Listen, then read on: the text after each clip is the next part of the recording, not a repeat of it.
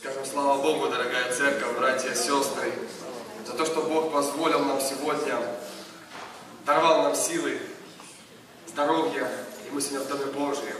И перед нами, братья мои сестры, служение, особое служение, воскресный день. И я читаю одну историю перед нашей молитвой. Мы с вами будем молиться. Проходя Верихон, и когда выходил, это от Марка, 10 глава, 46 стих. Приходя в Ерихон, и когда выходил он из Ерихона с учениками своими и множеством народа, Вартимей, сын Тимеев, слепой сидел у дороги, прося милостыни. Услышав, что это Иисус Назарей, он начал кричать и говорить, «Иисус, сын Давидов, помилуй меня!» Многие заставляли его молчать, но он еще более стал кричать, «Сын Давидов, помилуй меня!» Иисус остановился и велел его позвать. Зовут слепого и говорят ему, не бойся, вставай, зовет тебя. Он сбросил с себя верхнюю одежду, встал и пришел к Иисусу. Дорогие мои братья, мои сестры, несколько мыслей я хочу поделиться вместе с вами перед началом нашего служения. Вот такую вот историю я хочу напомнить сегодня для каждого из нас. И хочу обратить внимание на этого человека. Он сидел, он слепой, он не видел, но уши у него слышали. И вот однажды он услышал, что Иисус Назарей идет рядом.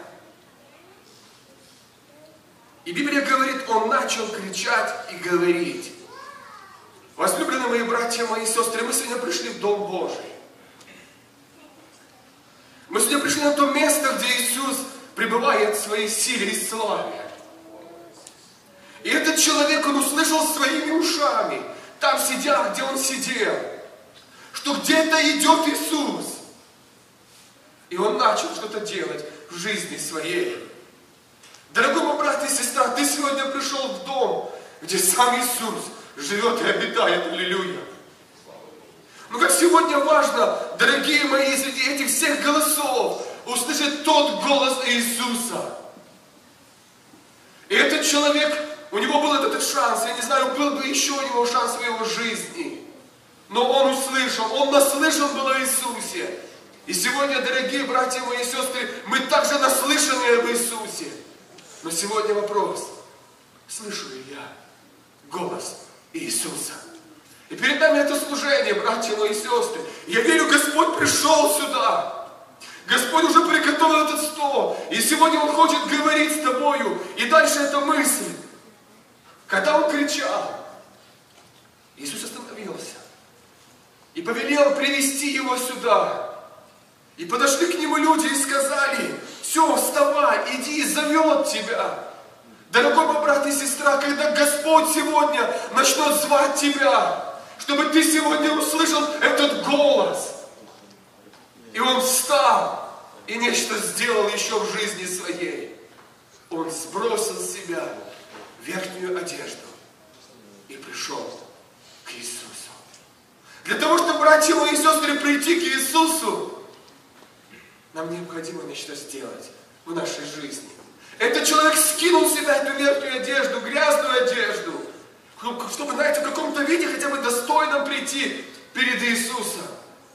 И сегодня перед нами, братья и сестры, это служение. Когда сегодня ты услышишь голос Его, чтобы ты сегодня, знаете, я не знаю, нуждаешься ли ты в этом, хочешь ли ты услышать голос, хочешь ли ты увидеть Иисуса в своей жизни. Но этот человек, он очень сильно хотел увидеть Иисуса. И когда он услышал, что он рядом идет, а сегодня, дорогой мой друг, брат и сестра, он пришел сюда. Он рядом возле тебя. И он сегодня хочет иметь общение с тобой. И он говорит, приведите мне его. И он встал и пошел, снял себя Сними с себя, дорогой мой брат и сестра, то, что, может, мешает тебе соприкоснуться с Иисусом. И в этой первой молитве сними с себя все то, что мешает тебе. Ему мешала эта верхняя одежда. Он взял ее, сбросил и пошел. Возлюбленные мои братья, мои сестры, и да благословит нас Господь, чтобы мы слышали голос Его и не пропустили в своей жизни, а Ему за все да пусть будет слава и хвала. Преклоняем колени. Слава нашему Богу, что мы сегодня в Доме Его можем прославить, возвеличить Его святое имя. И первый Ким говорит эти слова «Нет на свете красоты, без Тебя, мой Бог, Ты меня освободил, Ты подарил мне любовь».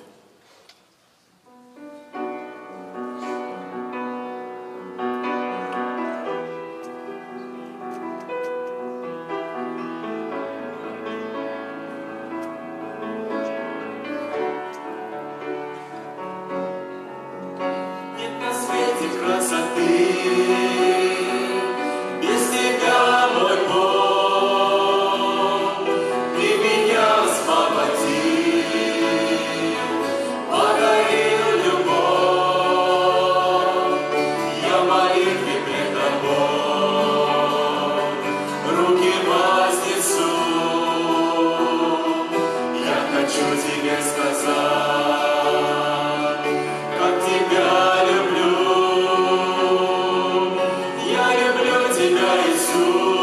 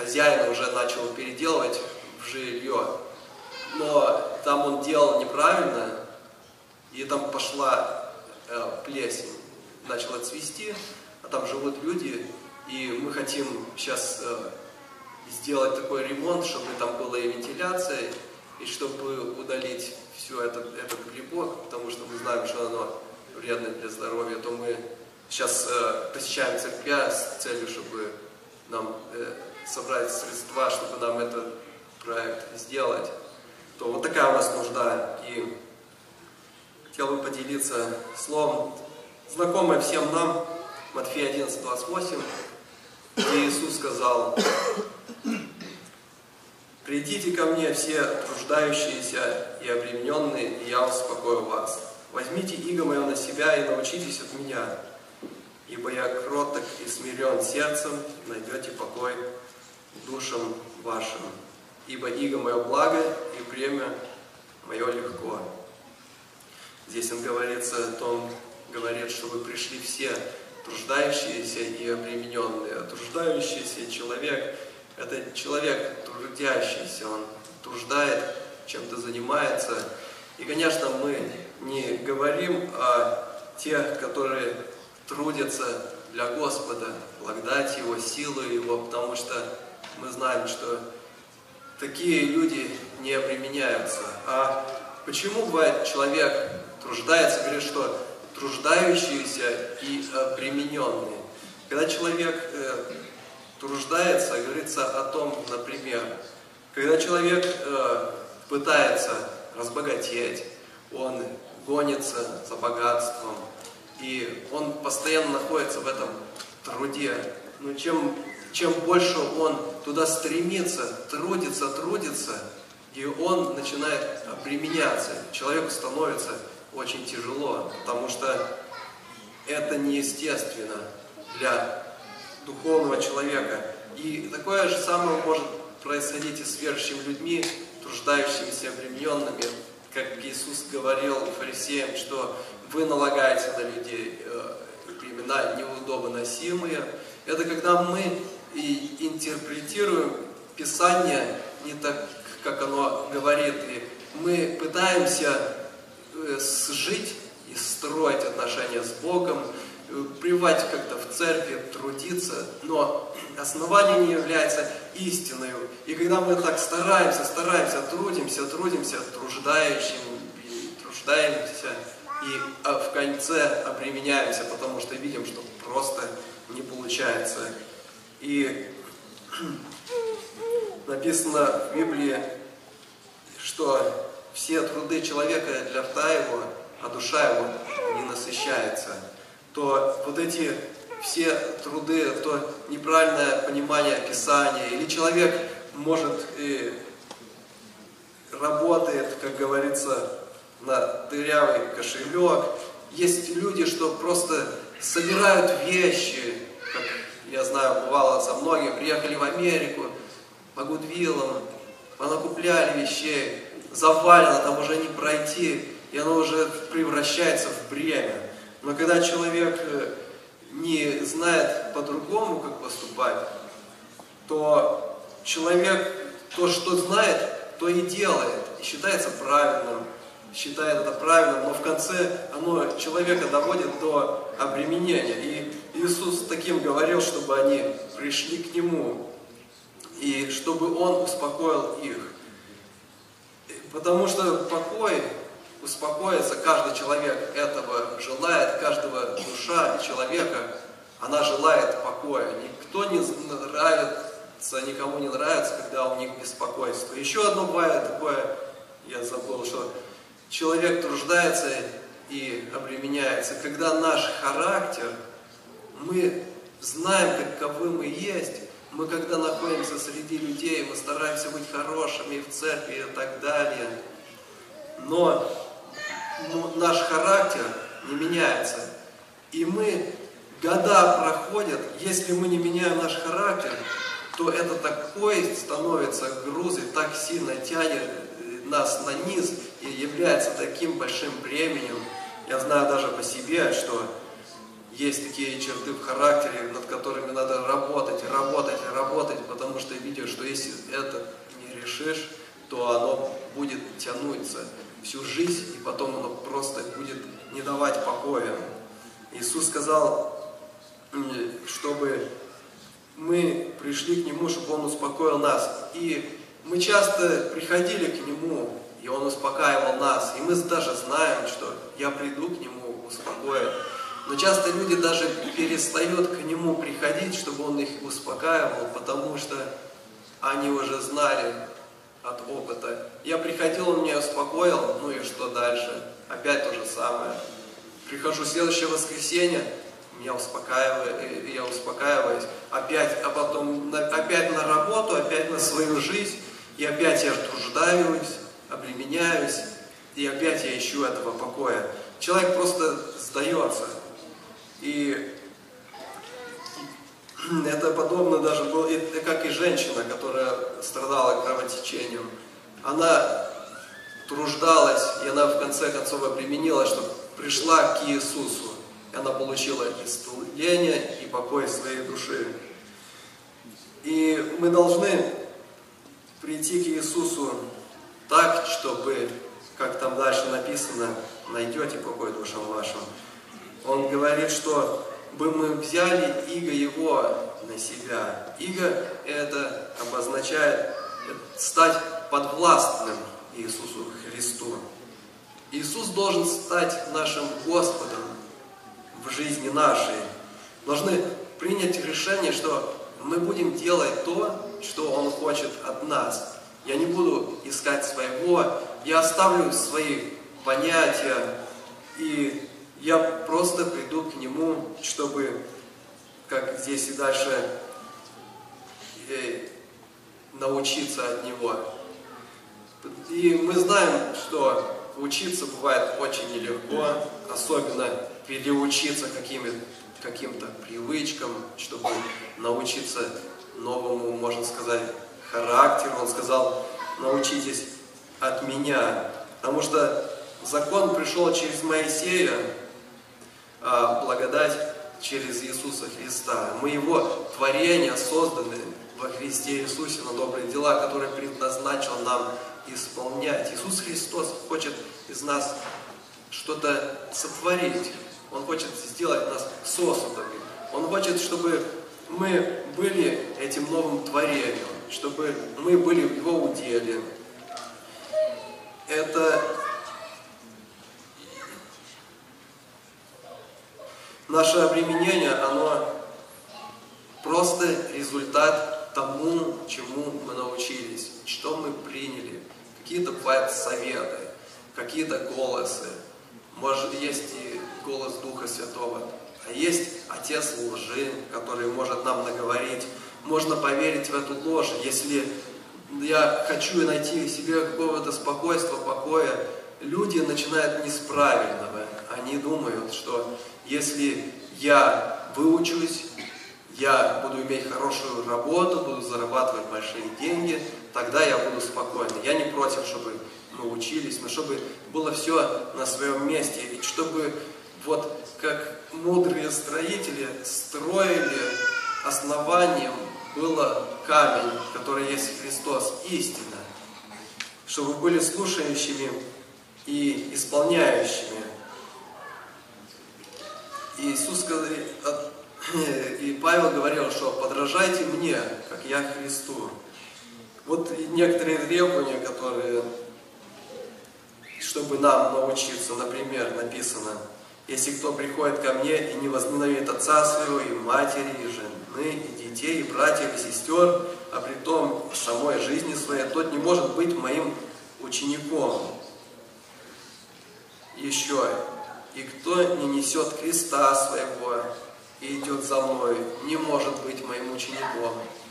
Иисус говорит в конечном, чтобы мы нашли покой душам нашим, вот такие требования.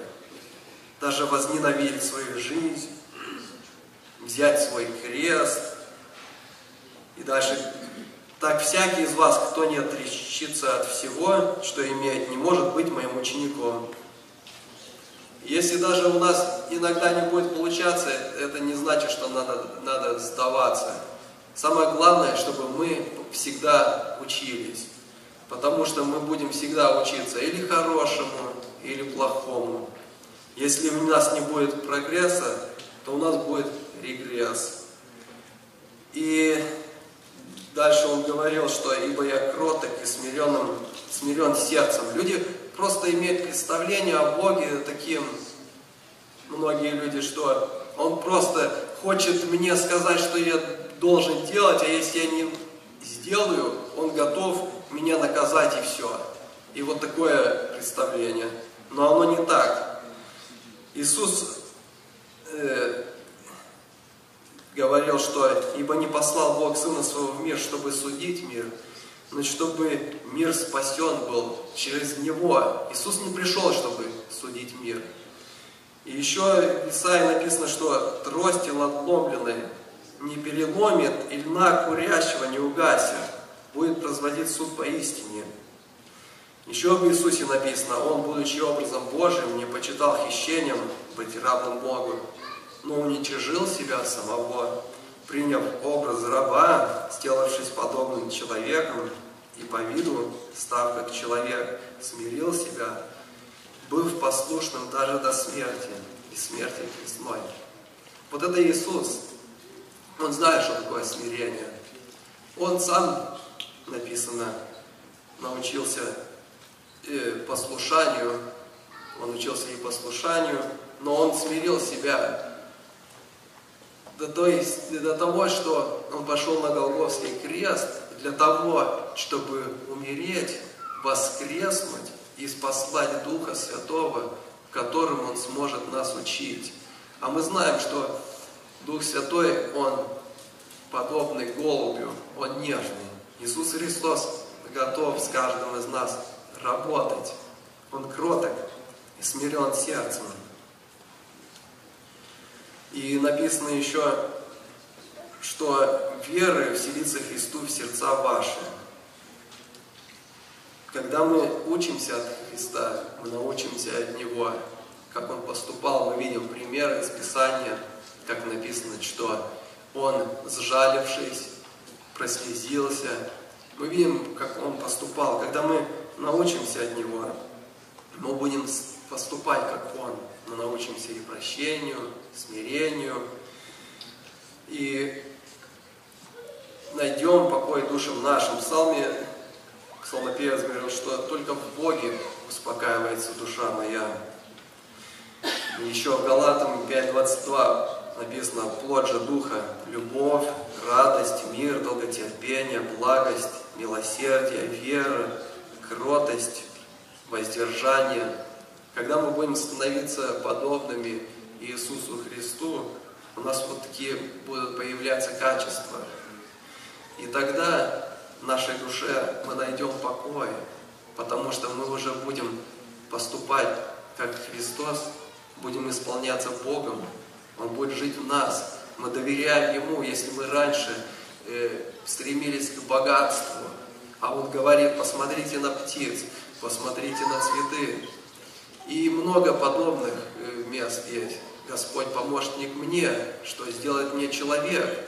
Много обетований имеет для нас Христос, но мы должны взять Его иго на себя и научиться от Него, чтобы мы не полагались на свой разум. Здесь еще это великое богатство, потому что еще апостол еще написано, ибо вы знаете благодать Господа нашего Иисуса Христа, что Он, будучи богат, обнищал ради вас, дабы вы обогатились Его нищетою. И еще великое приобретение быть благочестивым и довольным. Вот эта цена, которую Христос заплатил, чтобы мы имели покой. Он сделал столько много, чтобы мы имели этот покой. Написано в, даже в Евреям, что и так как некоторые, некоторым остается войти в него, которым прежде возвещено не вошли в него не в покорность, а покой. Ибо кто вошел в покой, вот тот и сам успокоился от дел своих, как и Бог от своих. Итак, постараемся войти в покойность, чтобы кто по тому же примеру не впал в непокорность. Когда мы непокорны, мы не входим в тот покой, потому что только в Боге успокаивается душа наша. И последнее, что написано, что «Ибо иго мое благо, и бремя мое легко». Я смотрел в английском переводе, там почти все переводы говорят, что «Ибо иго мое, можно сказать, легко, и бремя мое легко». «My yoke is easy, and my burden is light». Я это смотрел, что имеется в виду, ибо иго мое легко. Потому что это легко и просто. Он сказал, что истинно говорю кто не примет Царство Божие как дитя, тот не войдет в него. Имеется в виду, это легко. Это не надо там что-то выдумывать, это что-то замудренное. Говорит, Иисус сказал, славлю Тебя, Отче, Господи, неба и земли, что Ты утаился от мудрых и разумных и открыл том младенцам. Вот это, это иго, оно таким образом, оно легко. И еще написано, что будет там большая дорога, и путь по ней назовется путем святым. Не, не чисто, не будет ходить по нему, но он будет для них одних. Идущий этим путем, даже и неопытный, не заблудится. То это, это очень просто. Мы должны прийти к Христу. И еще, что бремя легко. Потому что написано, что все могу выкрепляющим укрепляющим меня Иисусе Христе. Это не надо нам думать, что вот Бог дал мне такую задачу любить ближнего или делать то или то. Это вообще, это для меня невозможно. Но написано, что все могу укрепляющим меня Иисусе Христе. Нам самим не надо будет это все нести. Но Он нам дает и силу, и помощь. И даже э, Павел написал, что но благодатью Божью есть то, что есть. И благодать Его во мне не была тщетна, но я более всех их потрудился, не я, впрочем, а благодать Божия, которая со мною. Апостол Павел там пишет, что он был в стуже, там крушение и так далее. И чтобы остаться человеку здравым, чтобы человеку еще быть таким твердым, это невозможно, как только благодатью Божьей. Бог призывает нас к великому. Мы часто себя ограничаем, ища покоя, и просто навлекаем на себя больше времен и проблем. А все, что требуется от нас, это просто сделать этот шаг веры, прийти к Христу, поверить, что он имеет намерение о нас, во благо, не на зло, чтобы дать нам будущность и надежду. Взять Его иго на нас, чтобы быть подвластным Ему, отвергнуть себя, чтобы Он был нашим Господом, чтобы Он мог учить нас, чтобы мы не были упорными, упрямыми, непокорными, как израильтяне блуждали в пустыне 40 лет и так и не научились, но упали мертвыми в пустыне. Это Божья воля для каждого из нас, чтобы мы поистину нашли покой душам нашим, чтобы мы не приходили на собрание и просто просили, о Боже, успокой меня, и опять возвращаться в старую жизнь. Наше мышление должно поменяться. Как мы видим Бога, что Он требует от нас, чтобы там, как написано, что «вразумлю тебя, наставлю тебя на путь, по которому тебе идти, буду руководить тебя, око мое над тобою. И вот именно в этом находим покой душам нашим, когда мы знаем, мы ходим пред Богом, и око Его над нами. И вот это истинный тот покой, который Христос предлагает каждому из нас и желает, чтобы мы его имели. И да благословит нас Бог, чтобы мы разумели, чтобы нашли этот покой, чтобы научились от Него, чтобы мы принимали истину, чтобы строили на камне. Давайте помолимся. Иисус не ворвется. Се, стою у двери и стучу. И если кто услышит голос мой и отворит, войду к нему. Откровение, третья глава. Есть тот, кто насильно врывается к людям. Он правил приличий не соблюдает. Стучаться он вежливо в сердце не будет. Он двери привычно ногой открывает. Не спросит у вас никогда разрешения, Не станет за наглость свою извиняться, Ворвется и скажет, «Мои здесь владения!» А после велит, как царю, подчиняться. Он знаки расставит, очертит границы. Для сердца напишет своем законе и стены воздвигнет вокруг из гранита, хозяином властным на троне воссядет. Не скажете, что не имеет он права, вам будет представлена демонов свита, и дьявол заставит служить вас исправно. Хотите вы этого или не хотите? Иисус никогда не ворвется к вам силой, не в правилах Божьих врываться без стука. Он хочет, чтоб сердце само дверь открыло и Господа жизни впустило, как друга.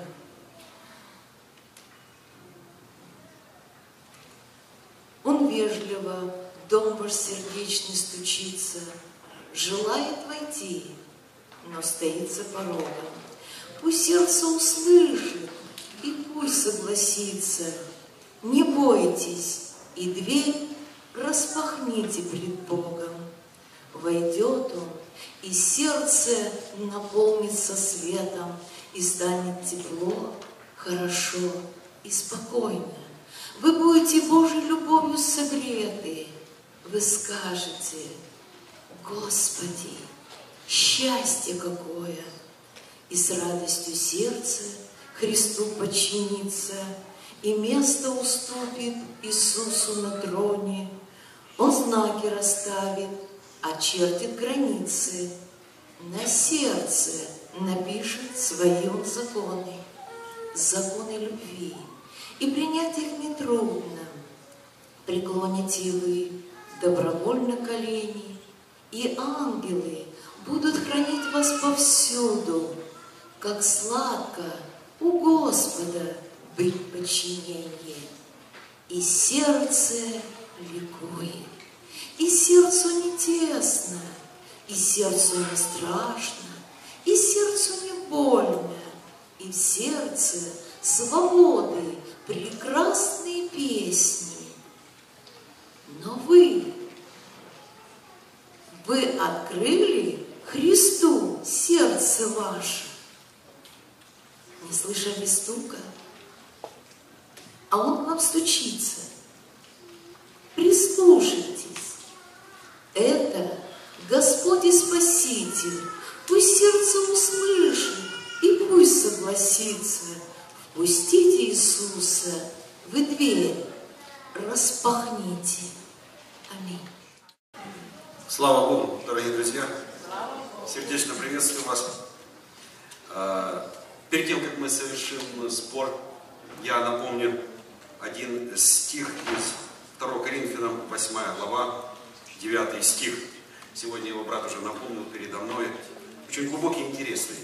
Ибо вы знаете благодать Господа нашего Иисуса Христа, что Он, будучи богат, обнищал ради вас, дабы вы обогатились Его богатством. Кто внимательно слушает в этом зале и следит за текстом, должны меня сразу поправить. Брат, ты? Еще раз читаю. Дабы вы обогатились Его нищетой. Друзья, и в этом есть какой-то вот определенный замысел и даже толчок к нашему размышлению. Обогащает вообще-то богатство. Нищета не обогащает. Но мы вот проникаемся священным писанием и пытаемся понять, что вот в этом есть какая-то благодать, какие-то есть духовные законы, что то, что дано от избытка, оно ничего не производит. Что поделиться, ну, хлебом, например, который, кстати, у нас в коридоре лежит хлеб, очень хороший, я даже вчера ел, и вы можете обязательно вот взять его, когда тоже будете возвращаться домой, но об этом еще попозже, вот, то это все, что этим хлебом поделиться, ничего не стоит, ничего не стоит, ничего не стоит. Но э, когда мы что-то в движении нашего сердца делаем нечто большее, что нам чего-то стоит, как Иисус, Он сошел с неба, оставил славу, оставил почесть и принял все смирение, все унижение, страдания и в дальнейшем смерть. Он обнищал ради нас, то это производит огромное движение. В этом видно и раскрывается любовь Божья большей жертве. Поэтому пусть наши сердца будут открыты для служения Господу. Давайте станем на наши ноги и с радостью будем петь песню и жертвовать во имя Господа нашего. Аминь.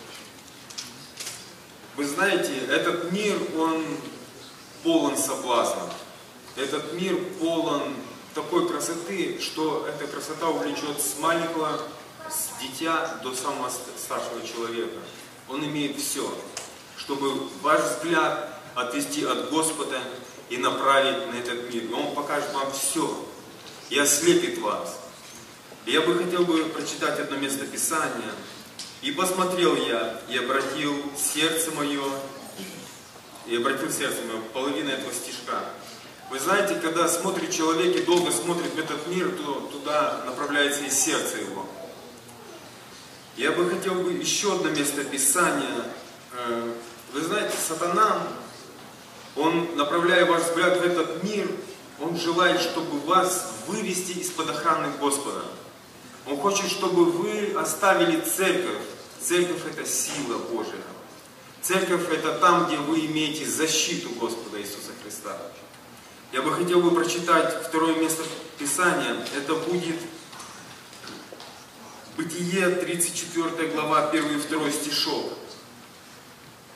Дина, дочь Лии, которую она родила Якову, вышла посмотреть на, на дочерей земли той.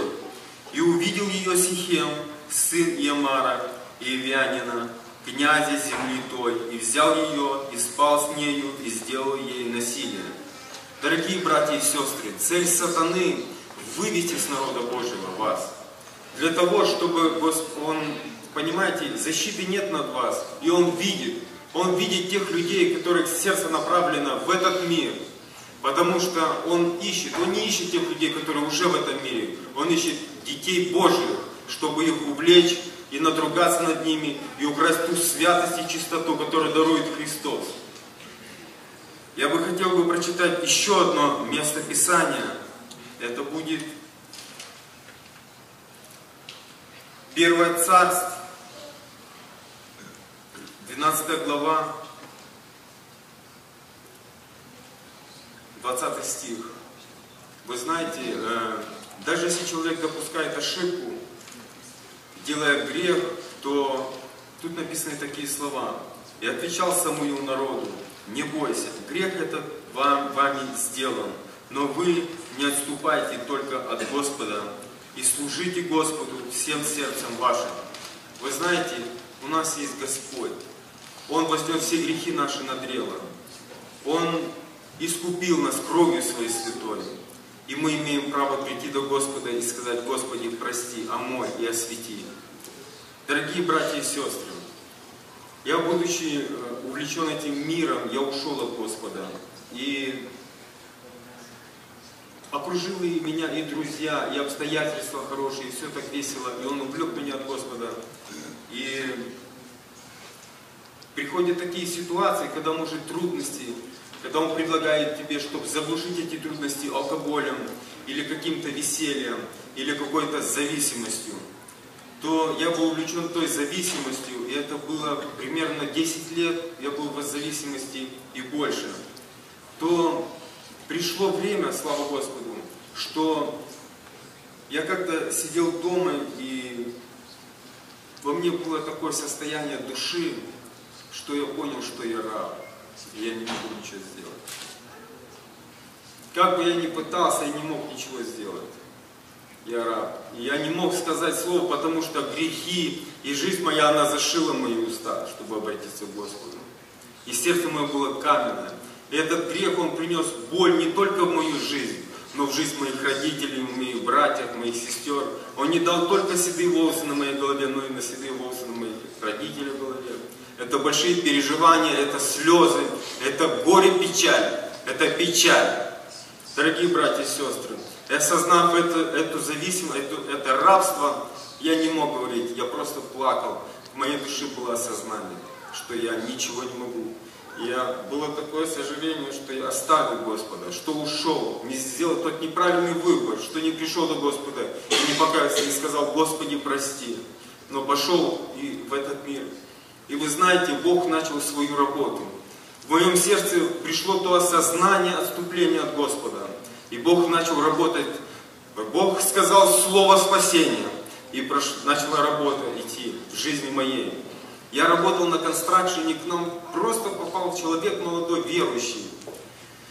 И это буквально в течение двух недель мы так сработались и сдружились чуть-чуть.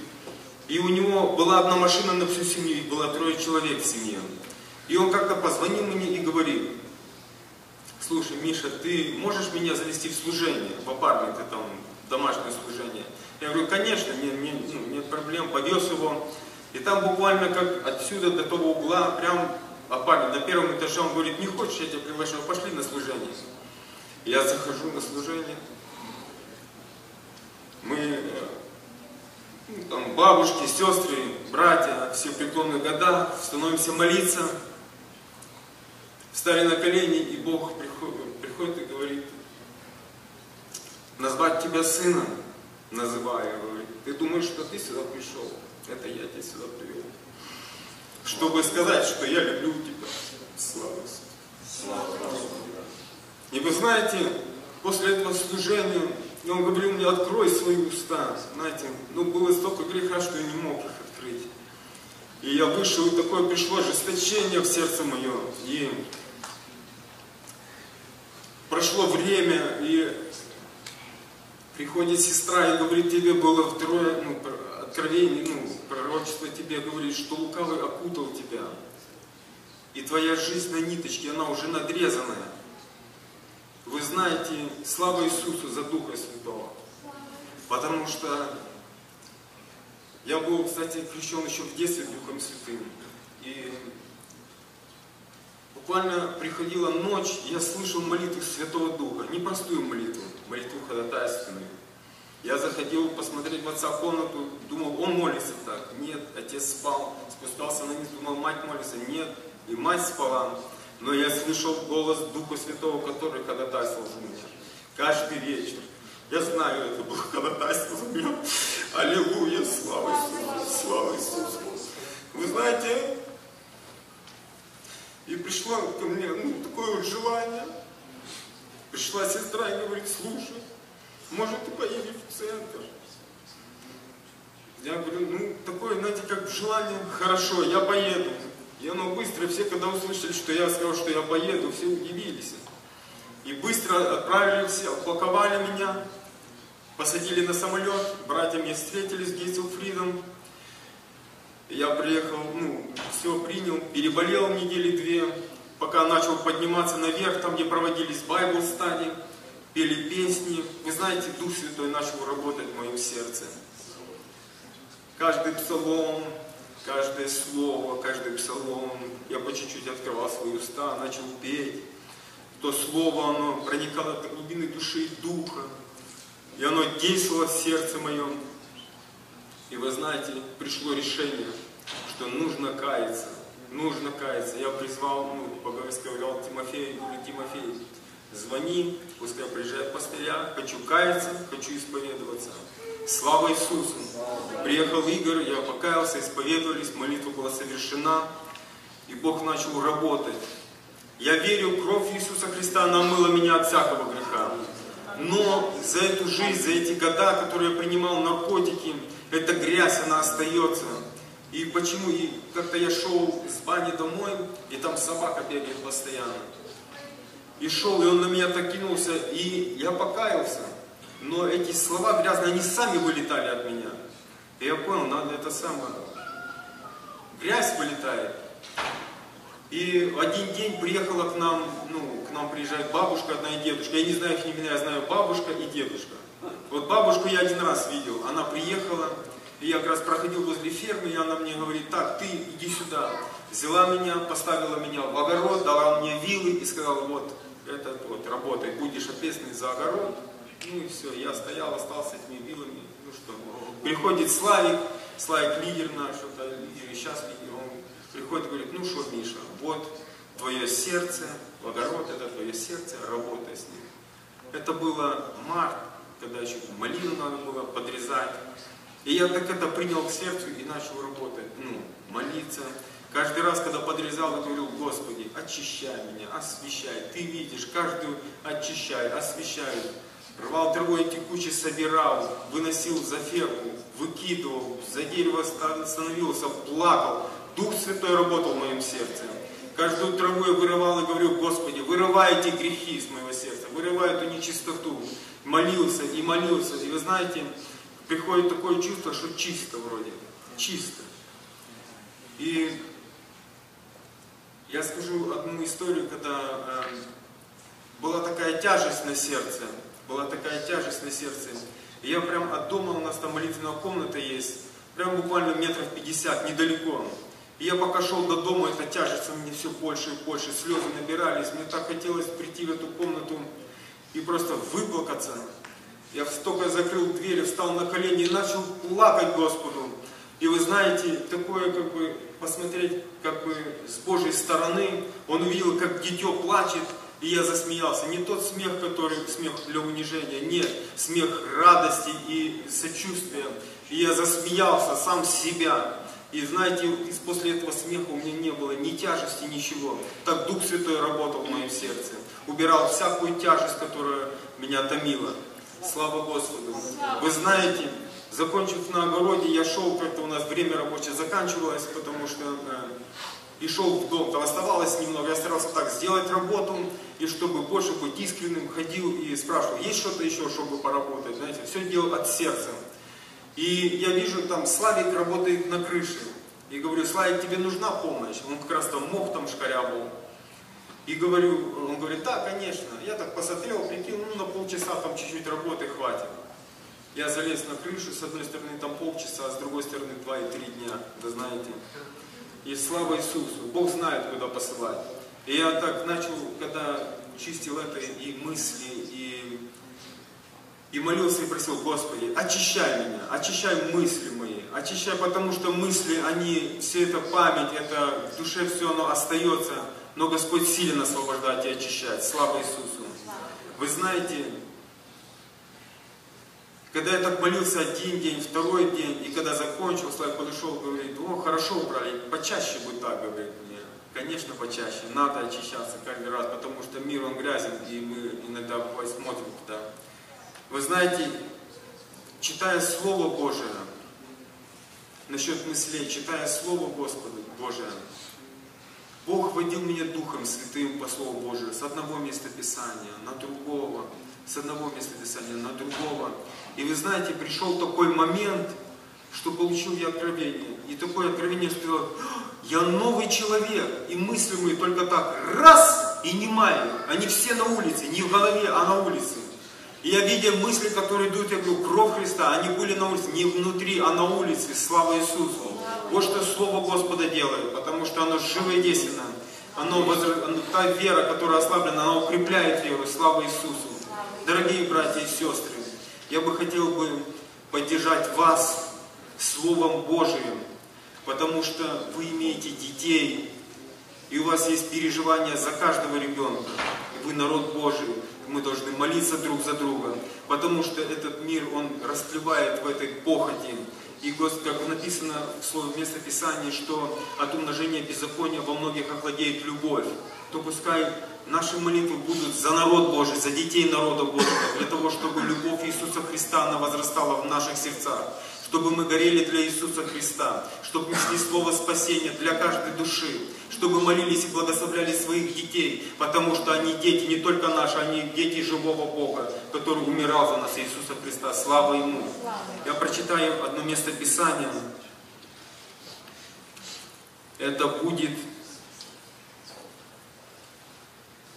Второе царство, 10 глава, 12 стих. «И сказал Иов Иоав, если сирийцы будут одолевать меня, ты поможешь мне. А если аммонитяне тебя будут одолевать, я приду к тебе на, на помощь. Будь мужествен, да будут эти слова для вас.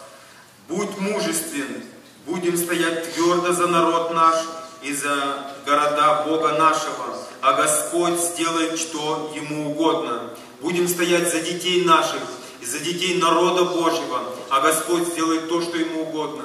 А Господу угодно спасать таких людей, как я, которые в зависимости, которые не имеют счастья в этой жизни без Бога, те, которые не имеют благословения.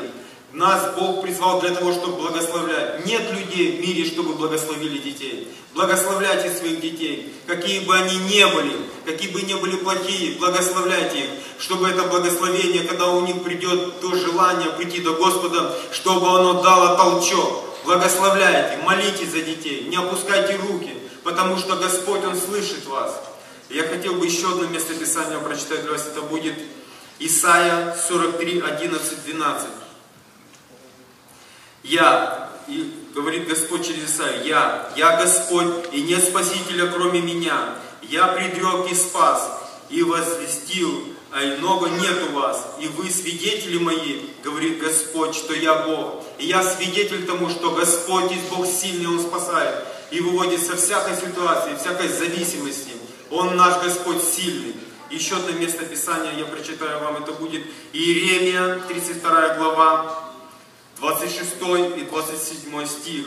«И было слово Господне к Иеремии, это слово ко всем нам. Вот я, Господь, Бог святой, Господь всякой плоти.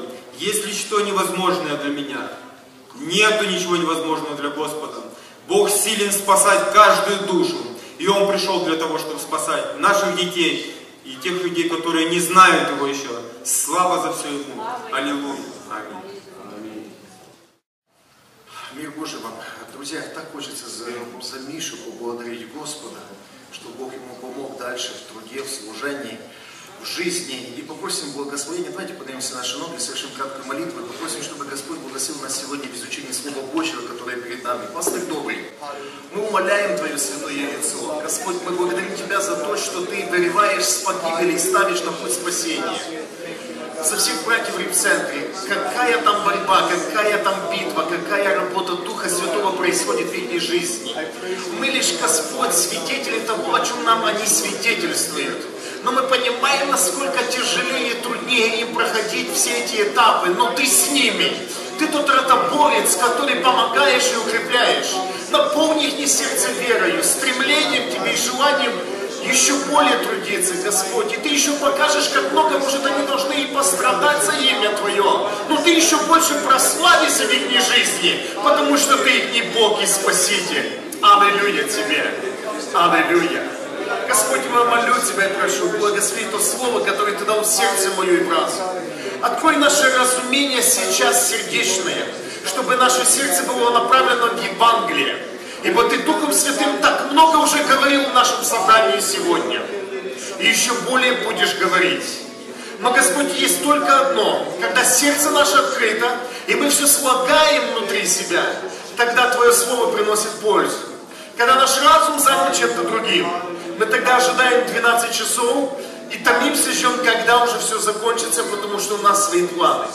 Пожалуйста, убери от нас все, что сейчас мешает. И дай нам сосредоточиться на слушании Слова Твоего, дабы оно произвело великую работу внутри нас. Это драгоценное время, когда мы в церкви.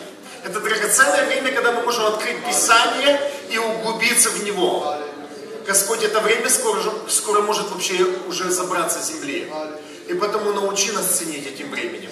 И да будет имя Твое прославлено. И благослови нас на этом месте дальше. Наша молитва во имя Иисуса Христа. Аминь. Пожалуйста, присаживайтесь. Итак, а, возлюбленные мои, высветите для нас Евангелие от Иоанна, 5 глава, мы прочитаем заключительные последние 19, 20 и 21 стих. Евангелие от Иоанна, 5 глава. Мы прочитаем с вами три заключительных стиха. Я хотел бы, чтобы они легли сегодня в основу нашей проповеди, то, о чем мы будем сегодня размышлять с вами.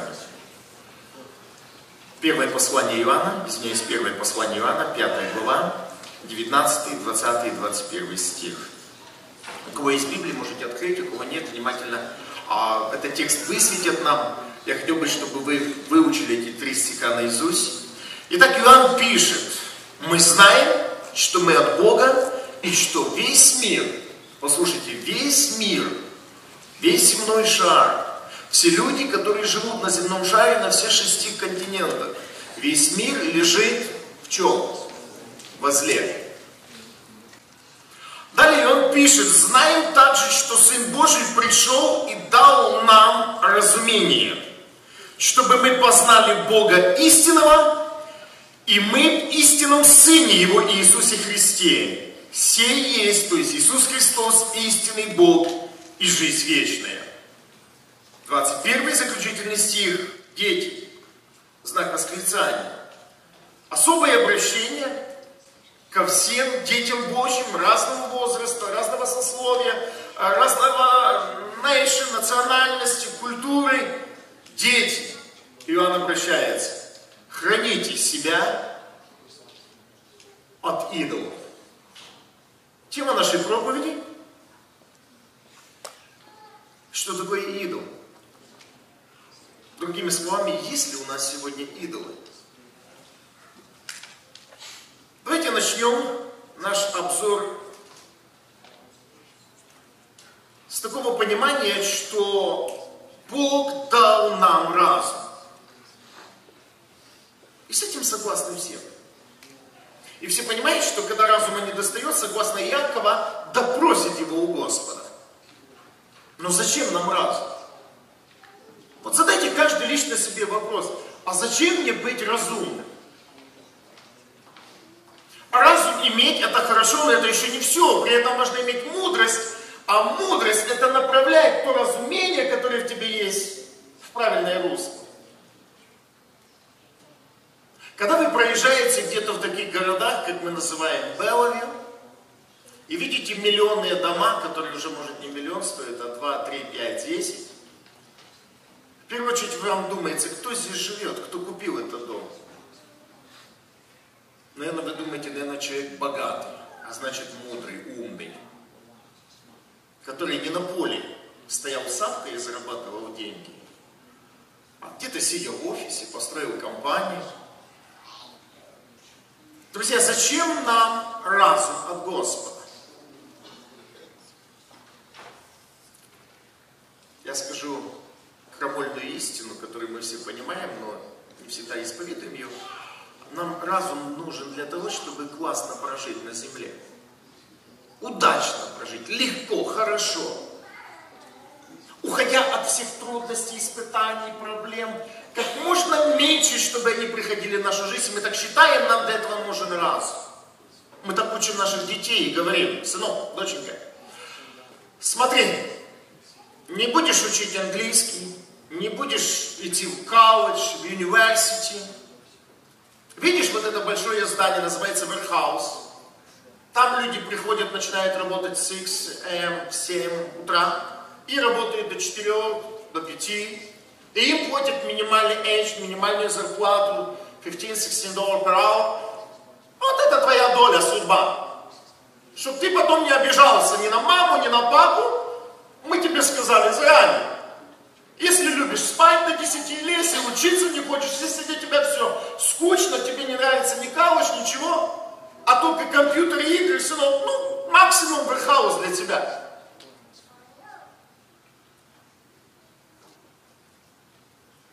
Или в другую сторону, говорит, сынок, значит, если ты будешь учиться, если у тебя будет мудрость от Господа, ты закончишь университет, ты будешь, э, у тебя будут чистые ручки. Тебе не надо будет в 6 утра, в 5 вставать. А у тебя будет свой офис, кабинет. Тебе будет платить много денег. И вообще ты так будешь классно жить.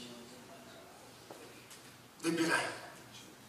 И потому мы, когда встречаем наших тинейджеров, подростков, которые уже молодежь, они все хотят идти в университет.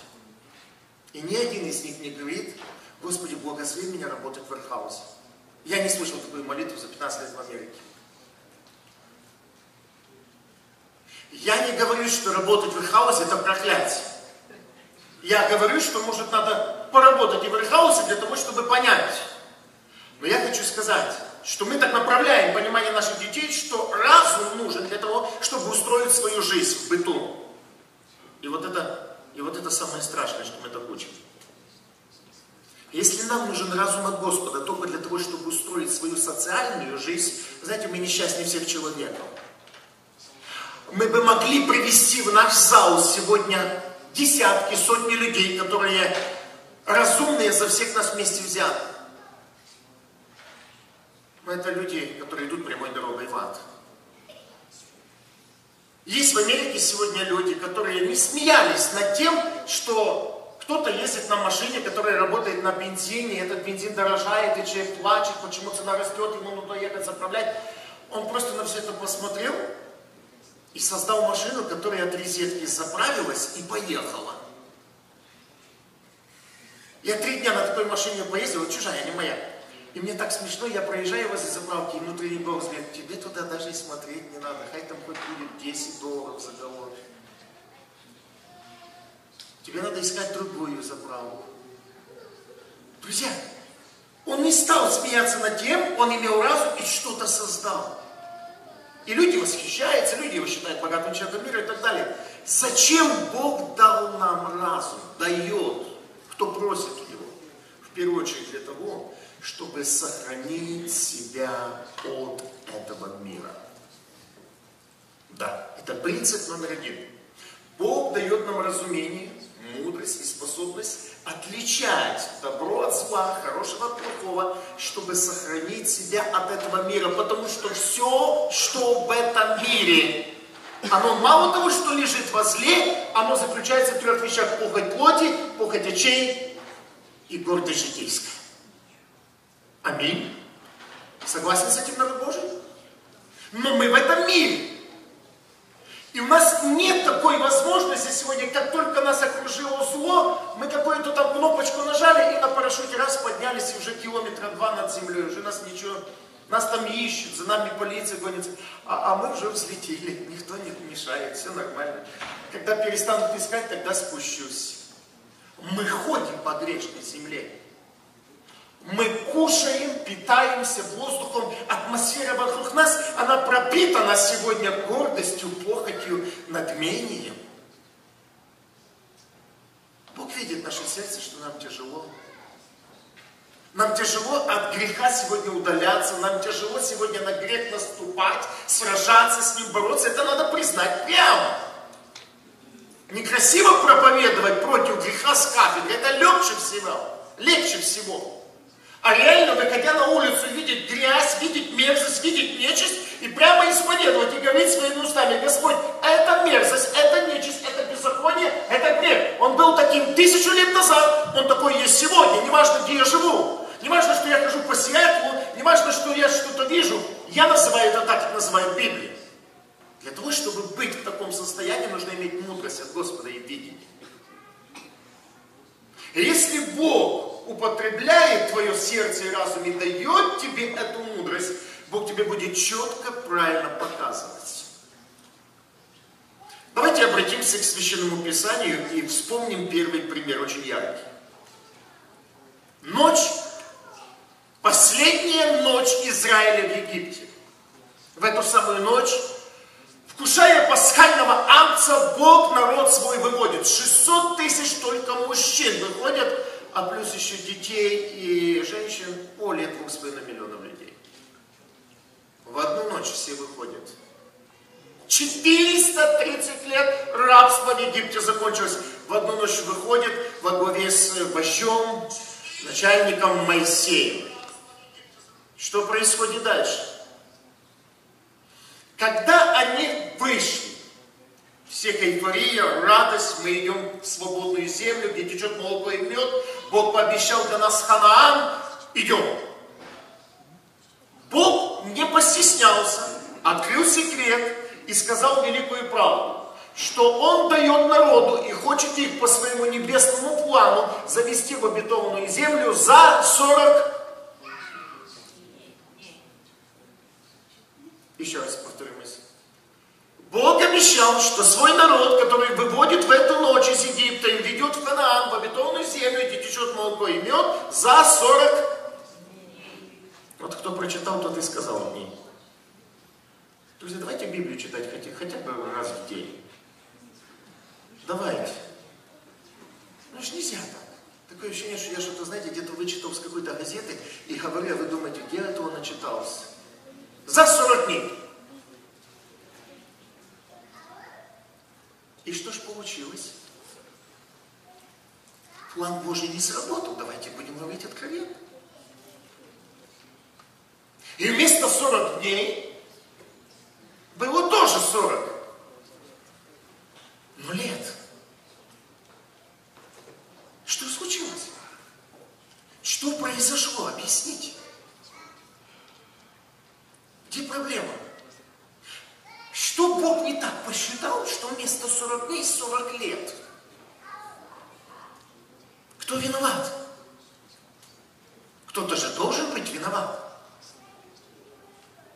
Если ты хочешь одно и думаешь одно, и об этом говоришь, а выходит совершенно противоположное, значит где-то, как мы говорим, не состыковка. Где проблема?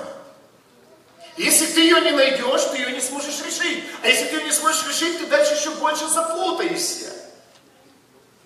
А она есть. И эта проблема была в маленьком человеческом сердце. Вышли с Египта, вперед идем. И тут, исход 14 глава, 11 стих, если для нас высветят братья, мы прочитаем с вами только 14-11 исход. Это когда фараон побежал за египтянами, Бог ожесточил, за израильтянами, Бог ожесточил его сердце, чтобы их возвратить назад. Читаем 14-11 исход. И сказали Моисею, разве нет гробов в Египте, что ты привел нас умирать в пустыню? Что это ты сделал с нами? Выведи нас, выведя нас из Египта. Это было первый звоночек. Это был первое такое, знаете, уже не держание, когда начался ропот. Послушайте, пункт номер один можете записать, можете запомнить, можете не согласиться. Идол в твое сердце, в твою жизнь не приходит просто так. Извините, изложение с потолка, бах и упал. Для того, идол вошел в твое сердце, тебе нужно сердце для этого подготовить, открыть. Оно должно быть свободным к этому. Так вот, ропот, а ропот это уже признак недовольства. Если недовольство это более скрытое внутри человека, то ропот это уже открытое проявление, которое уже видят все. Ропот в твоей жизни это открытие сердечных дверей, твоих и моих, для того, чтобы туда пришел идол. Вы скажете, я не вижу как бы, а я не вижу связи между ропотом и идолом. Не спешите, в Израиле идолов сначала не были. Только золотишком Египта забрали и с ним шли. Но они не знали, что будет впереди. Идолов еще не было. Но ропот уже появился. И там интересно, если вы исследуете Писание, сначала начали на Моисея роптать, потом написано на Моисея и Аарона начали роптать. Потом начали роптать на, даже на народ. А далее уже написано, и возроптали на Бога. Мы мудрые, мы же не Израиль. Мы удивляемся, как они так не могли, видя Бога собой, днем в столбе огненном, э, днем в столбе облачном, ночью в столбе огненном, они до такого состояния дошли. Друзья, я хочу задать вопрос себе и всем вам. А вы думаете, в наше время идолов стало меньше, чем во времена Израиля? Нет, их стало больше. Есть только одна разница между идолами, которые были в Израиле, и идолами, которые сегодня есть в народе Божьем. И знаете, в чем она заключается? Это очень важно знать. Послушайте. Есть только одна великая разница между идолами, которые были в Израиле, которые сегодня есть у нас. Кто знает, чем она заключается? Идолы, которые были в Израиле, они были явные, открытые, то есть видимые. Астарты, Дубравы, Высоты, капища, они все были явные, видные, открытые, и люди, не стесняясь, даже в них ходили, и другие видели, что он идет к идолу. В наше же с вами время, в эпоху модернизма, в эпоху сегодня, ну, много каких прогрессов, наши идолы, они скрытые. Но скрытое это значит, что оно есть просто невидимое для глаз. А оно есть. И потому состояние, когда идолы скрытые, но они есть, оно завуалированное состояние, и оно более опасное, чем то, которое было открыто. Там Иисус Навин мог четко поставить себя, семью и народ и сказать, выбирайте, смотрите, вот, факт на лицо, вот вы все видите. Сегодня же в наше время человек с идолом в сердце может не просто приходить на собрание, а может всю жизнь служить Богу, как это не парадоксально звучит. Израиль три месяца шел с Египта до Синая, где они стояли 11 месяцев и получали от Бога закон. Три месяца пути. Ну, не так-то много по времени. За это три месяца и Бог четыре раза очень сильно испытал, проверил свой народ. Сначала были э, эти э, горькие воды, они не могли пить, Моисей сделал их соленые. Потом недостача пищи, Господи, пошли пищу, обратно ропот, и там переплывы налетели, манна было. Потом была Амалик битва, потом были горькие воды при Рефадиме, четыре таких сильных испытания. С маной там вообще чудеса. Ну ясно и четко Бог сказал, ну, ну мудрые же люди, дети Божьи, евреи, собираете на сегодня только, только в пятницу, последний день собираете в два раза больше, потому что в субботу нельзя собирать. Ну, что сказал Бог. А у меня семья, шестеро детей. А если все скушают, а ночью встанут три часа и скажут, папа, хотим есть. А в четверг соберу еще чуть-чуть, чтобы на пятницу было больше. С утра встаешь вонь в хате. Фу, смерти, черви уже завелись за ночь. А потому что я умный. Я насобирал больше, он не насобирал, он послушался Бога. На утро он встает, у него запах приятный. У меня вонь дома. От моей мудрости. От моей глупости, а не мудрости. Иногда в жизни в христиан, в семьях есть, извините за духовная вонь. Жена туда, муж туда, дети, дети понятно, что никуда. Такого не может быть, что муж не в собрании, жена не ходит в церковь, а дети все евангелисты и проповедники. Это, это нонсенс, это чудо просто. Там, наверное, бабушка с дедушкой молились сильно. Вы знаете, вонь какая-то духовная в семье, потому что кто-то мудрый. Потому что детей детства учат, надо деньги. Уже в 15 лет научили детей, как зарабатывать деньги. А что ты детей не научил 15 лет, что Библию надо читать? Что молиться нужно? Что крещение Духом Святым ему нужно в жизни, иначе он упадет и не останется с Господом. Или ты думаешь, что тебе задача как отца, мамы, дать ребенку финансовую сторону или научить, а остальное кто будет делать? А, да, я же забыл, постарайся, это же их не обязанность, конечно. Нет, это твоя обязанность, потому что в первую очередь ты родил это дитя. И потому, друзья, Израиль начинает буксовать ропот, недовольство, одно, второе, а Бог так нежно, ласково, тихонько говорит Моисею, там, брось дерево в воду, вода сделается сладкой, а тут в скале скажи, а тут ночью будут вот налетят перепелы, тут ману вот так скажи им собирать, вот этот день сколько там, последний в два раза больше, ну как-то так нежно, тихо, как, как любящий отец, так знаете, гладить тихонько, вы только три месяца идете, ну, ну, ну, ну, не, не, не шумите, все вам дам. И тут наступает самое страшное. Переломный момент. Только три месяца пути. Три месяца пути, 90 дней. Уже Божий план еще тут. 40 дней уже нет. Все, три месяца только приходят к Синаю. И Бог вызывает Моисея, говорит, поднимись ко мне на гору. Народ стоит возле Синая. Очертана линия вокруг горы. Никто не имеет права подняться. Восходит Моисей, получает от Бога закон. И в это время, как это не звучит парадоксально, когда Бог готовит закон для своего народа, А закон – это отношение Бога к человеку и человека к Богу. Когда Бог готовит и говорит закон, то последнее, что Бог ей сказал Моисею, сойди скорее к народу твоему. Он сильно развратился.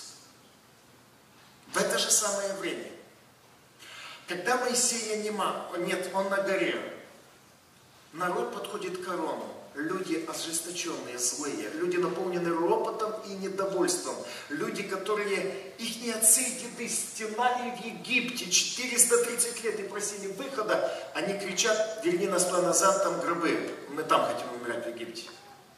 Вот этот бунт и непокорство, это ропот и недовольство всем и всеми приводит к тому, что они приходят к короне и говорят, мы не знаем, что с этим человеком. Забыли, как зовут ихнего вождя. Знаете, как это не страшно звучит, иногда народ Божий забывает, как зовут Бога. Мы не знаем, что с этим человеком. И они дальше так и сказали, сделай нам Бога, который бы что? Шел перед нами. народ, э, Арон, видя жестокосердие народа, поступил по слову, сказал, чтобы принесли ему все э, золото. И этот телец, вылитый телец стоял перед ними. Три месяца пути, четыре испытания, которые народ роптал, не выдерживал, но видел милость Божью, и как результат своего непокорства перед ними телец, золотой телец, истукан, идол, и явный, открытый на весь народ – и народ перед ним пляшет. Народу радостно, уже легко, уже не так хочется мяса, манны, а перед ними стоит уже Бог. Когда Моисей возвращается с горы, знаменитая фраза, которую Иисус Навин ему сказал, что какой-то, я слышу крик «Встань!» И Моисей отвечает, это не вопль поражаемых, да, и не голос, э, и не Голос поющих, я слышу голос поющих, это не вопль поражаемых и не крик побеждающих. И то, что увидел Моисей. Бы порог сердца получил, разрыв бы сердце получил. Я бы вообще не хотел бы такую картину увидеть, потому что есть люди очень мнительные, когда зрительная картина перед ними вырисовывается. Дальше случается то, что Моисей истребляет этого тельца, он просто его истребил, разрушил, растер, бросил в воду, и написано, эту воду дал им пить. Израиль, что ты делаешь? Мы пьем своего Бога сегодня. Вы знаете, что порой от нашей мудрости без Бога до нашей глупости и всеобщего поражения и посмеяния один шаг, как было в одного царя, который травой питался и ползал, как животное. Прочитайте книгу Даниила. Израиль для нас очень много учит. Но я смотрю на наш 21 век сегодня, друзья, как мало мы научились. Для них не было, скажем так, большим уроком то, что одежда не рвалась, обувь не ветшала, Самое страшное было то, что всегда было желание еще какому-то Богу помолиться, еще какого-то башка себе создать и где-то к нему направить свое взор, свое внимание.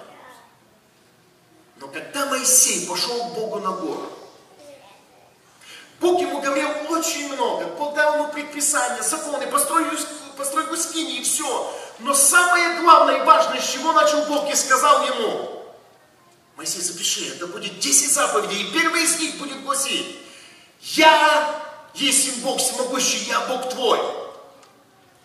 Казалось бы, все ясно, все понятно, да, только ты один всемогущий всесильный Бог. Но Бог тут же добавляет, послушайте, Бог ставит запятую и тут же добавляет, говорит для нас с вами, для разумных людей. Да не будет пред лицем моим. У тебя, народ Божий, других богов. Точка. Господи, зачем добавлять? Мы понимаем, ты один, всемогущий, сильный Бог. Нет другого. Нет, нет, тебе нужно помнить и знать. Да не будет пред лицем моим у тебя в сердце, в разуме, в жизни, в твоем времяпровождении. Да не будет других богов. А что такое идол? Идол то, о чем мы думаем 24 часа в сутки. Идол то, о чем мы думаем больше, чем о нашем Господе. Идол то, что нам может так сильно нравится, хочется. Как ни странно это звучит. Я так понимаю, что вообще на всем земном шаре самое более имя произнесенное или слово произнесенное в человеческих устах должно быть имя Бог. Но в последнее время, извините, за последние полтора-два года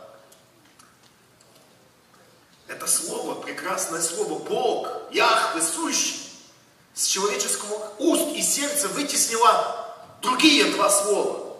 COVID-19 и вакцина. Друзья, друзья, я хочу задать всем вам вопрос. Разве я имею право в своей жизни, в своем сердце сидеть и думать о вакцине в день по 3-4 часа, когда я вытесняю сердце моего Бога? Да мне не важно, как она будет, да мне не важно, сколько людей умрет от нее. Друзья, наша жизнь идет к тому, чтобы умереть и уйти с этой земли. Но если я с утра до вечера переживаю, а как я буду лететь? Не о том ты переживаешь. Ты должен подумать, как ты будешь туда лететь, а не туда лететь. И люди с утра до вечера, Дом Божий, христиане, сегодня так и слышу проповеди готовят о вакцине. Серьезно? Серьезно, вы так понимаете, что кафедра, место святое, где проповедуется распятый воскресший Иисус, здесь надо про вакцину проповедовать. Я хочу вообще про нее перестать говорить. Я хочу просто сказать, Господь, если Ты это попустил, я больше скажу пророческим словом. То, что мы пережили в прошлом году, это еще ничего. Это мы только по щеколотку зашли в воду. Придут времена намного страшнее. И я их в духе чувствую, и Бог открыл и показал. Друзья, придут очень страшные времена. Когда о собрании в церкви, о мягких стульчиках, о проповеднике, мы будем вспоминать с такой сладостью, но это будет уже все закрыто и все невозможно. В одно мгновение. Не просто закроется церковь. В одно мгновение Бог и рассеет. Ох, как все произойдет очень скоро и быстро, друзья. Но моя мысль не о том, и я не переживаю, как это будет. Я переживаю о другом. Что если настанет мой момент перейти в вечность, и я встречусь с моим Богом, не скажет ли он мне, сын мой, а почему в твоем сердце был идол? А почему в твоем сердце было то, что ты вот мечтал об этом, или об этом хотел, и думал только об этом, и молил меня только об этом, а не о том, о чем я тебя хотел и просил. Бог нам дал, я заканчиваю, буду идти к заключению проповеди. Друзья, именно разум Бог нам дает для того, чтобы сегодня удалить всякие прихоти, всякие удалить наши ропот и недовольство. Если бы мы сегодня с вами поехали в голодную Африку, в те страны, Кения, Танзания, Намибия, в те страны, где я говорю после собрания, братья и сестры, если им не привезли гуманитарную помощь, не раздали рис, не раздали им кукурузу, они выходят с собрания, идут домой, они даже не знают, что будут кушать. Но они идут на собрание. Миссионеры свидетельствуют, рассказывают. Им не всякие воскресенье раздают пищу. И вот то, что раздали, тут же они и скушали. Они идут на собрание. И то у них проповедуется там, что нельзя роптать. То у нас сегодня с вами. Потому что ломаются двери. Я уже обещал, что не буду это слово называть, где ломаются двери. Робот. Все не так. Церковь не та. Штат не тот. Страна не та. За президента вообще молчу. Ну все не то. Тебе нужно упасть на колени перед. Твое сердце открыто к ропоту, у тебя есть идолы в жизни. Так говорит Священное Писание.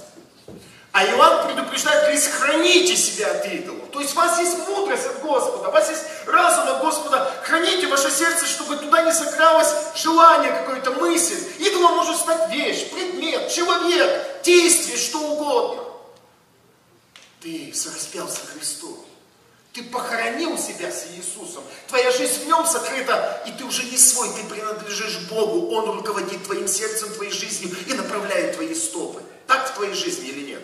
Или просто, Господи, да будет воля Твоя, а решать буду я. Нет. Не будь лицемером в молитве, если да будет воля Твоя, то отдайся полностью воле Божию и скажи, Господь.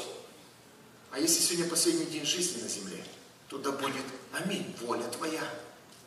И последняя мысль, и мы будем идти к молитве. 40 дней. Израиль поменял на 40 лет. И самое страшное, что из тех 600 тысяч мужчин, которые вышли из Египта, от 20 лет и выше, в обетованную землю вошли лишь два человека, Халев и Иисус Навин. На первый взгляд были все разумные. Манну все собирали, мясо кушали, роптали. Недовольство высказывали Аароном, Моисеем, Марьямью. Одним словом, вели себя как бы правильно. А в обетованную землю вошли только двое. Сегодня нам с вами рассуждать, как идти в небо. Сегодня нам с вами рассуждать, как держаться Господа, как любить Бога, как продолжать свою жизнь строить, как свою семью созидать. Вы решаете. Но, друзья, еще раз хочу сказать, храните себя от идолов. Храните сердца ваши, чтобы кто-то не стал между вами и Богом. Храните свое сердце и мысли, чтобы они не направились чуть-чуть в другую сторону, и Господь сбился с вашего фокуса внимания. Это очень важно. Дьявол сегодня ходит как рыкающий лев. Дьявол сегодня пытается в наши дома не просто нести планшеты, компьютера, а сделать так, чтобы мы не могли уже оторваться от некоторых вещей. И вот тут приходит то слово от Господа. Если глаз не соблазняет тебя, отсеки. Разбей, а ломай. Это Божий принцип. Ломать идолов, это делал муж Божий, Моисей, перед глазами народа. Это Божий принцип, он работает. А если идола прячешь, чтобы папа, мама не видели. Если идола прячешь под простыню, под подушечку, чтобы жена не видела, муж не видел, то будет, будет вонь в семье, черви заведутся. Да поможет Бог сегодня разбить идолов, которые есть в доме, которые есть в сознании, в сердце, может в отношениях. Каждый знает свою жизнь, каждый знает, что ему мешает сегодня сосредоточиться на общении с Богом. Но храните свои сердца. Точно так, как мы храним свои тела. Храним тела, чтобы на них ничего не рисовать, не писать, не колоть, не цеплять. И в этом мы видим Божья благодать и милость, потому что тела наши храм Духа Божьего, живущего в нас, и Господь уже расписал наше тело достаточно, как Ему было угодно, когда создал Адама и Еву. Не надо Богу помогать, что-то дорисовывать, дописывать, удлинять, укорачивать, извините за выражение, не надо. Не занимайся глупостями, и это может быть идолом твоей жизни. Храни свое сердце. И да поможет тебе Господь сегодня, когда мы будем молиться в молитве, сказать, Господи, весь мир лежит возле. Идолов на улице полно. И все они, а порой даже за бесплатно, за фри, хотят зайти в нашу жизнь, чтобы в них занять место, подвинуть оттуда Господа. Да не будет так никогда. Ни с кем, ни в каком доме, ни в какой семье. Идолом, еще раз повторяюсь, может быть что угодно, но ничто не достойно Бога. Никто не достойный Бога. Людей надо любить, прощать, понимать, но люди не первое место занимают в твоем сердце. Работа, нужно работать, семью нужно кормить, заботиться о пропитании, аминь, это нужно, но все это не должно стоять на первом месте, иначе мы как язычники. И горе нам, если мы надеемся на Христа только в этой жизни. Да укрепит Господь ваше сердце в том, чтобы между мной и Богом, между тобой и Господом Спасителем не стал никакой идол, который ты заносишь в свое сердце заносишь свой дом, заносишь свою машину, заносишь свой карман, заносишь свой кошелек. Я не знаю, идол может быть разного размера, как большой, так и маленький. Но он невидимый. Его не видит пастыря, его не видит церковь, его не видит мама, папа. Ты его прячешь. Да храни тебя Господь, вырви его. Разбей его, выкинь его во имя Иисуса, наступи на эту нечистую силу и скажи, Господь, в моем сердце идола никогда не должно быть, я должно, хочу хранить свое сердце в мире и в благодати, и тогда Ты исполнишь меня Духом Святым, и я буду иметь дерзновение в молитве. Давайте склоним наши колени и помолимся. Аминь.